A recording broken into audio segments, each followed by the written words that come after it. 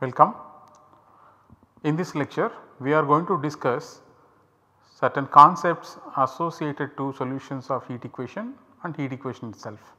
One of them is infinite speed of propagation and then we look at the energy associated to the heat equation and using energy we will show that initial boundary value problem that we have considered in earlier lectures has a unique solution. Then we go on to state a couple of examples which illustrate that heat equation is kind of irreversible that means we cannot consider T to be negative unlike the wave equation. So, this backward problem for the heat equation is not well posed. So, the outline is we start with infinite speed of propagation uh, we will show that the solutions to heat equation have this property. Then we show uniqueness for IBVP via energy method and then we finally conclude by showing two examples which illustrate that backward heat equation Cauchy problem for it is not well posed. Okay. Recall from lecture 7.2 where we have established this theorem. Whenever phi is a continuous and bounded function, if you define u of x t by this formula, then u is a solution to the heat equation u t equal to u x x for t positive and it satisfies the initial condition u of x 0 equal to phi x. In other words this formula represents a solution to the Cauchy problem for homogeneous heat equation. So, the solution has the following domain of dependence property.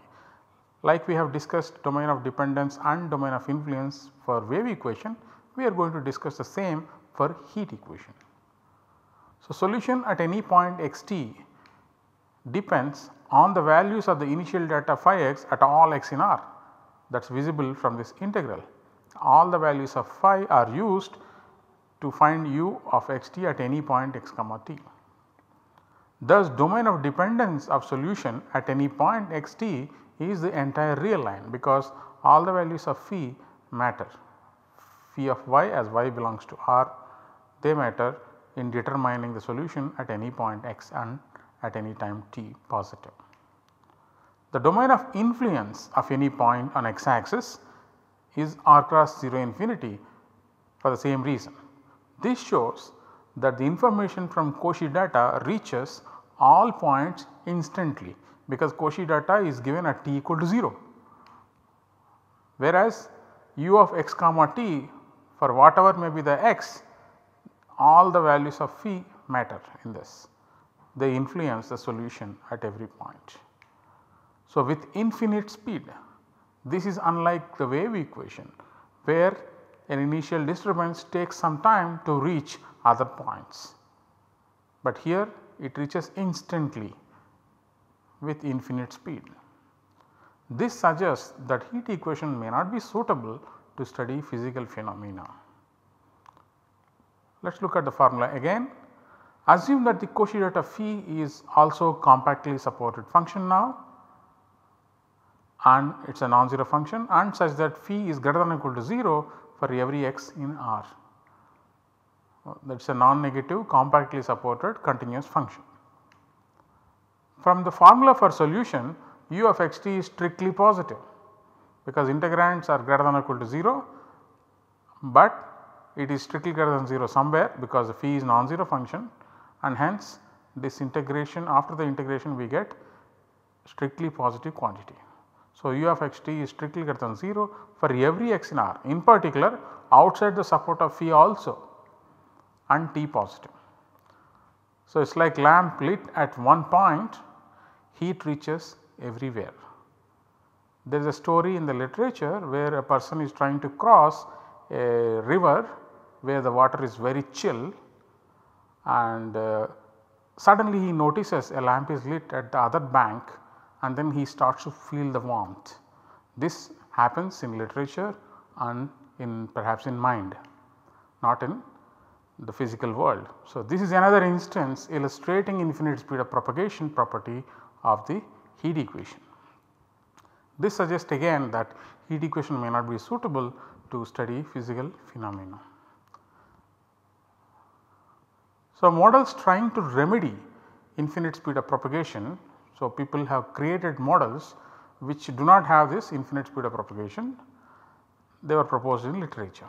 You may consult the book by Olver, the book of Olver partial differential equations for a nonlinear diffusion equation that exhibits finite speed of propagation. There are some fractional order partial differential equations they are also proposed and they do not have infinite speed of propagation maybe you are happy because it has finite speed of propagation, but their physical relevance is rarely discussed. On the other hand heat equation is suited for long time studies uh, for T large and has shortcomings for small times. So, let us now discuss uniqueness for IBVP via energy method.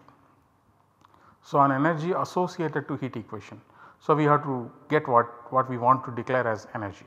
So, multiply the heat equation ut minus uxx equal to 0 with u and integrate over the interval 0 L that gives us 0 to L u u t dx equal to 0 to L u u x x dx.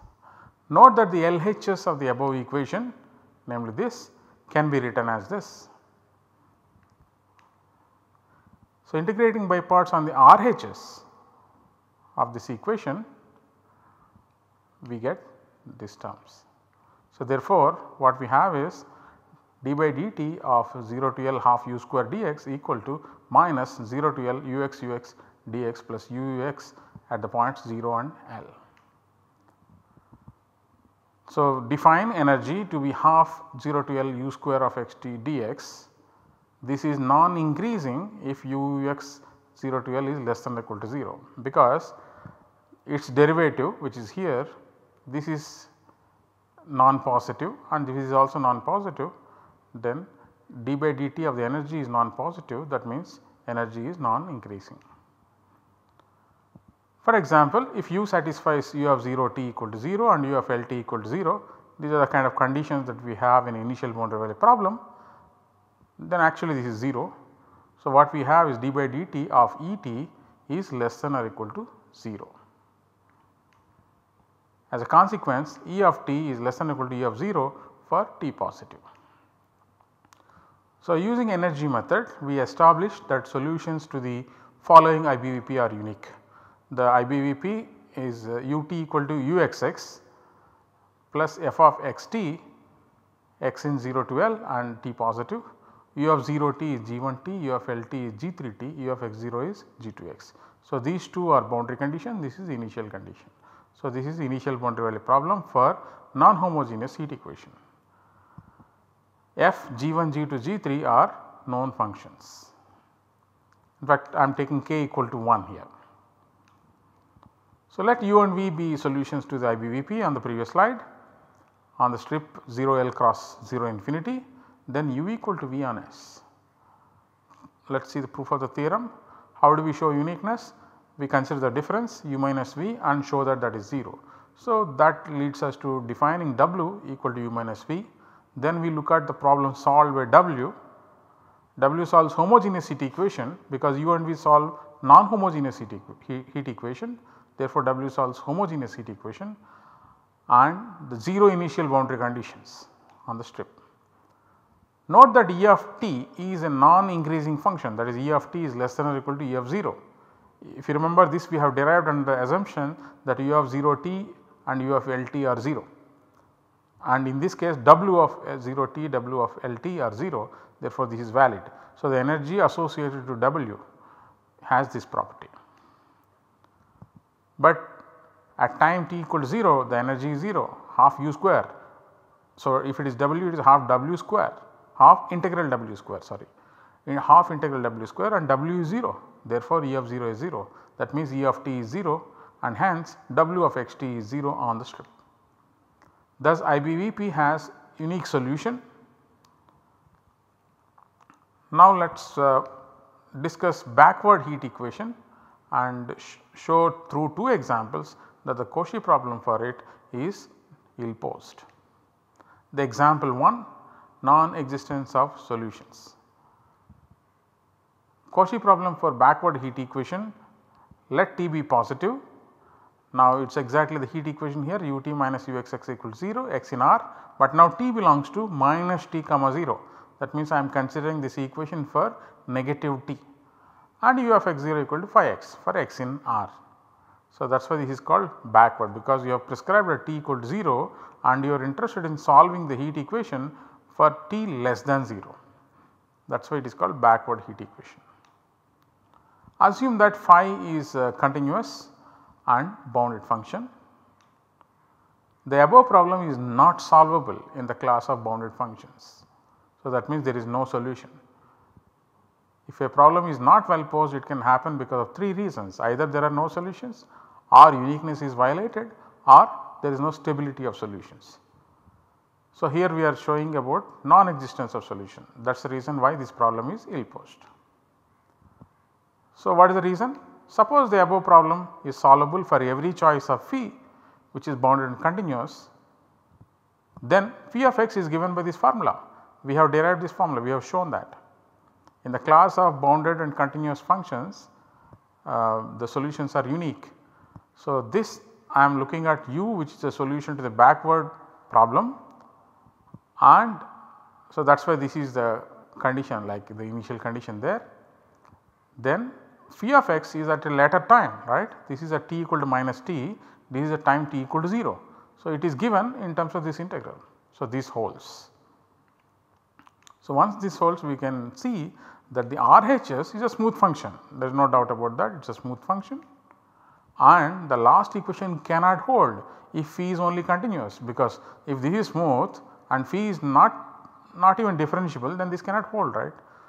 Therefore, if phi is only continuous this equation cannot hold and hence our supposition that there is a solution uh, for every choice of phi which is bounded continuous is not true.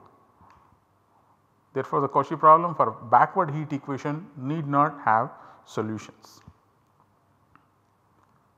So, second example is about instability of solutions.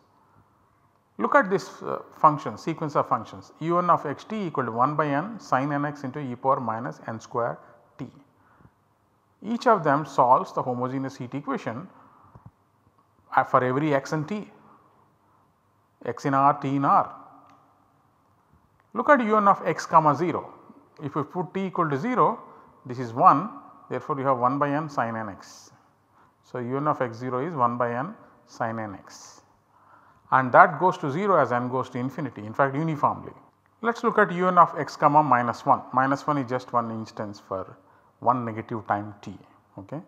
Instead of writing uh, let t naught be negative less than 0 we have chosen t naught equal to minus 1. Then this un of x comma minus 1 what we get is 1 by n sin n x e power n square. Now as n goes to infinity this term 1 by n of course goes to 0 but e power n square goes to infinity. So, this is going to infinity and sin n x will be oscillating between minus 1 and 1. So, therefore, un of x comma minus 1 keeps oscillating towards plus infinity and minus infinity. In any case it is not going to 0 except for x being uh, integral multiples of pi uh, this will never go to 0. So, initial conditions are going to 0, but at a time t equal minus 1 it does not go anywhere. The solutions to the Cauchy problem for backward heat equation does not have stability property. Thank you.